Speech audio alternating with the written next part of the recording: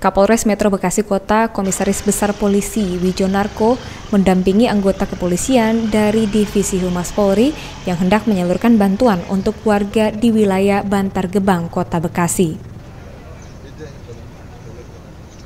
Kepala Biro Pelayanan Masyarakat Divisi Humas Polri, Brigjen Pol Awi, bersama Kepala Biro Multimedia, Brigjen Pol Muharon, melakukan penyerahan bantuan secara door-to-door. -door. Bantuan yang diberikan ini bertujuan untuk meringankan beban yang dihadapi masyarakat tidak mampu akibat dampak pandemi COVID-19. Pada kesempatan itu juga, Ketua Ikatan Pemulung Wilayah Polsek Bantar Gebang mengucapkan terima kasih atas bantuan yang disalurkan kepada pemulung wilayah Bantar Gebang.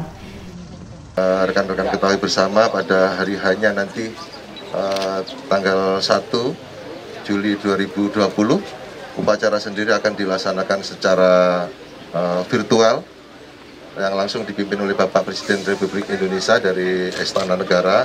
Kemudian nanti diikuti uh, di Mabes Polri di uh, lantai 9 Baris Krim Polri.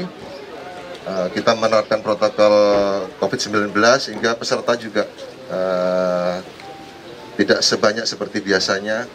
Kita akan seleksi, kita melakukan protokol uh, kesehatan dan diikuti oleh seluruh uh, kewilayahan Polda-Polda jajaran dan Polres-Polres jajaran seluruh Indonesia dengan virtual. Dari Bekasi, Jawa Barat, Muhammad Iqbal, Tribrata TV melaporkan.